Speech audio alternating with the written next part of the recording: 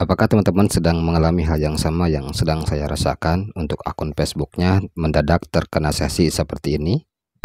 Di sini saya akan mencoba memberikan beberapa tips ya teman-teman untuk mengatasi masalah waktu sesi habis di Facebook. Oke, di sini langsung saja kita coba klik OK terlebih dahulu. Kemudian kita coba lagi untuk login, kita pilih akun Facebooknya Oke, ternyata masih tetap tidak bisa teman-teman. Di sini ada keterangan lagi waktu sesi habis. Oke, sekarang kita coba hidupkan dulu untuk mode pesawat, teman-teman. Di sini kita coba hidupkan untuk mode pesawat uh, beberapa detik saja. Oke.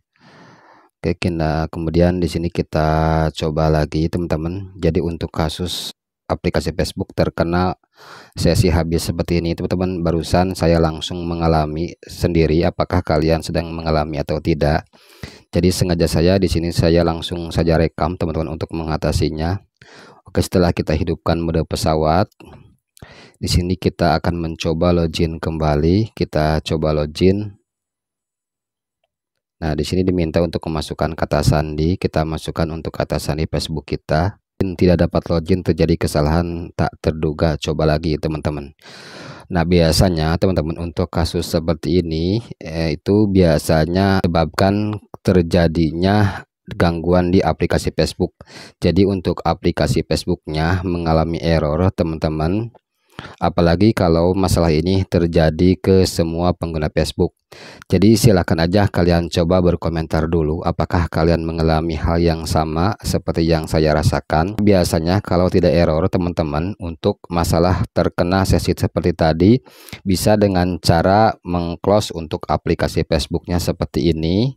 Kemudian kita bisa masuk kembali seperti ini kemudian kita masukkan untuk kata sandi Facebook.